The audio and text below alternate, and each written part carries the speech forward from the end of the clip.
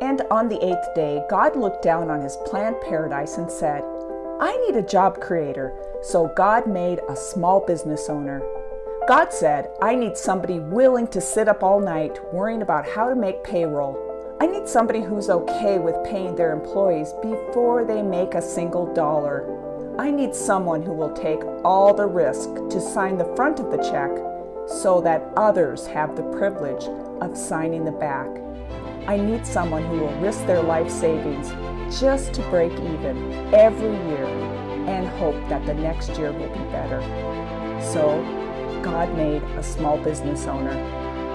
I need somebody with a personality strong enough to handle a complaining customer and yet gentle enough to train a new employee. Somebody to run payroll, stock the shelves, skip lunch, run across town to hand deliver an order to an elderly customer, work late, and not get back to their own house until 10:30 p.m. So God made a small business owner.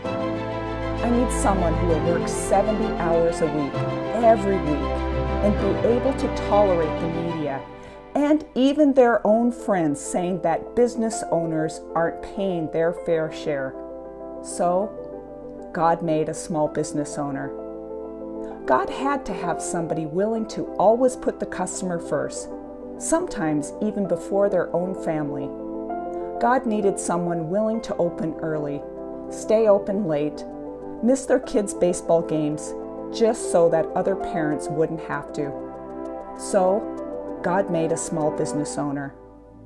God needed someone who would get people what they need, when they needed it, for a fair price someone who could be a living example of the old-fashioned virtues of self-reliance, hard work, and not spending more than they make. God needed someone to keep the American dream alive. So, God made a small business owner.